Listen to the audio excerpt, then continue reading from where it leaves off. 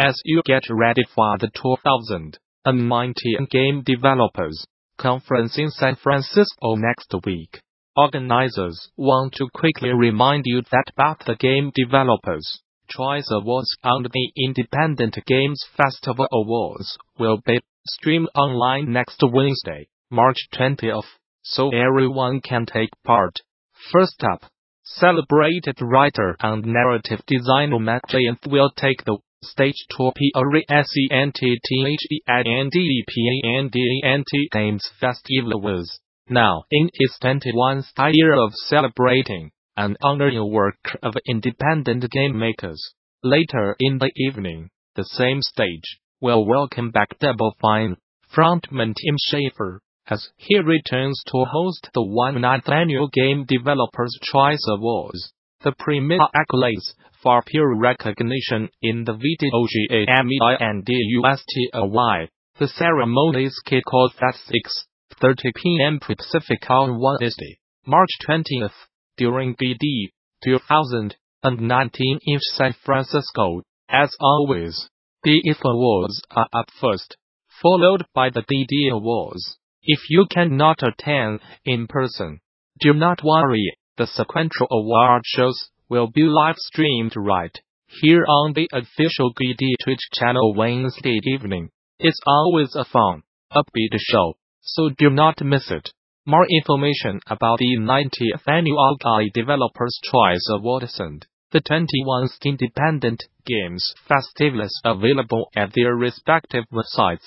Bring your team to GDC Register a group of 10 or more and save 10% on conference passes. Learn more HERA. For more details ONGDC 2019 visit the show's official website or subscribe to regular updates via Facebook, Twitter, RSS, Godot Sutra and GDC are sibling organizations under parent company Informa.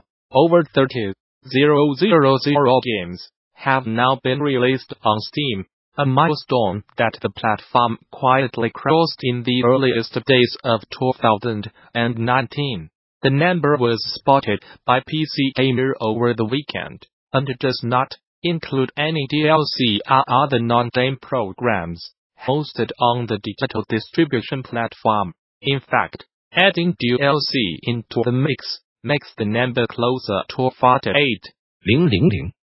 An updated tally of the count can be found by searching for nothing at all on the Steam store.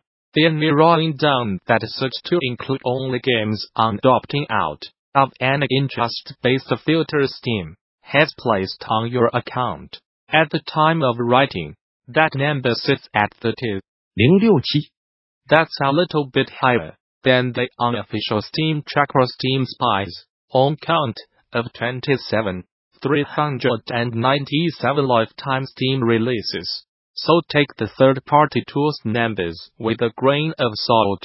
But Steam Spy did once again chart year-over-year growth for Steam. According to the site, 9. 329 games released on Steam in all of 2018. That's around a 300 increase from 2017. As estimated count, the Gamasutra job board is the most diverse, active and established board of its kind for the video game industry. Here is just one of the many, many positions being advertised right now. Location, Pasadena, California. Industrial Toys, creators of Midnight Star and Midnight Star, Renegade is ramping up to start its next adventure, and looking for new team members to help make it the best yet. Building on hard-won knowledge, as an indie studio, we have joined forces with a to realize our vision of what it means to be mobile to the car. If you are interested in creating innovative experiences that will reach mobile players around the world, join up today. We are seeking a talented server engineer who is passionate about making great games in a fast-paced environment. You will collaborate with design and engineering peers to create new features, systems, and technology for our game. Our high-performing, dynamic team is committed to developing our game with a player-first perspective. The ideal candidate has mobile experience and a proven track record, developing scalable systems for live services. With a new, large-scale mobile game, we are pushing the boundaries on every front, so you will get a chance to learn while you contribute. Responsibilities, qualifications, interested. Apply now. Whether you are just starting out, looking for something new, or just seeing what's out there, the Gamasutra Job Board is the place where game developers move ahead in their careers. Gamasutra's job board is the most diverse, most active, and most established board of its kind in the video game industry, serving companies of all sizes, from indie to triple. Looking for a new job? Get started here. Are you a recruiter looking for talent? Post jobs here. Burning Sky Games had a great start to the new year at the music and gaming festival, MagFest. Our team kept a booth running for three days straight, allowing guests to play Runaway at any time of day and night. It proved an incredible experience and one we hope to do again next year.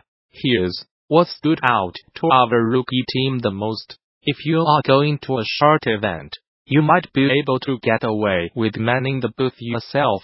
I know I have, and it's usually not too bad. But MagFest is not a short event.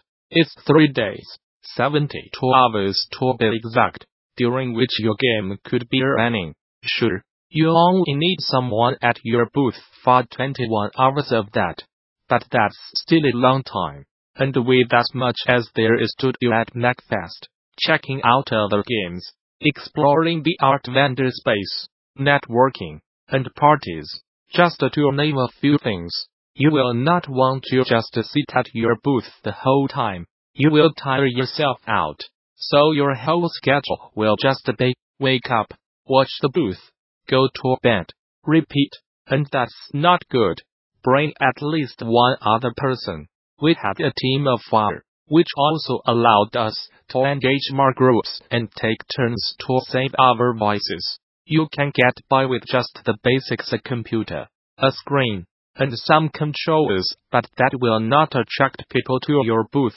You are battling against all the other teams, therefore guests, attention, and you are only going to win if you go big.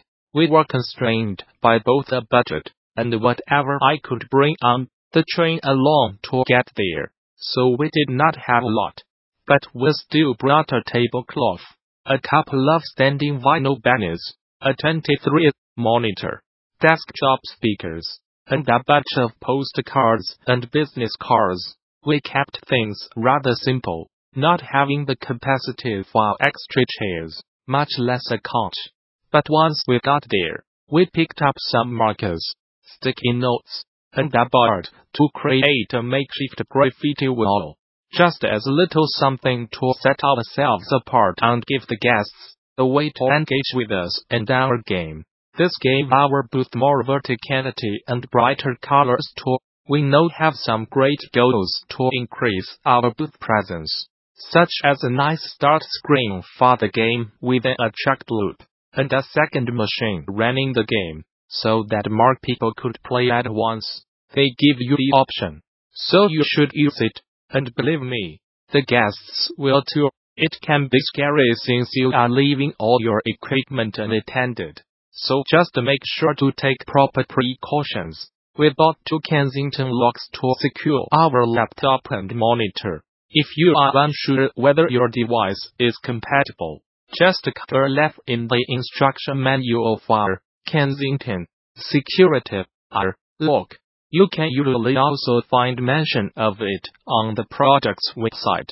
Under features are specifications. We also bought some cable traps, but it turns out the Kensington locks would not fit through, so we did not get to use them. We'd also like to use wireless controllers when possible, but this time we chose some Amazon Basics X1 wired controllers. They are cheap so you can get a lot.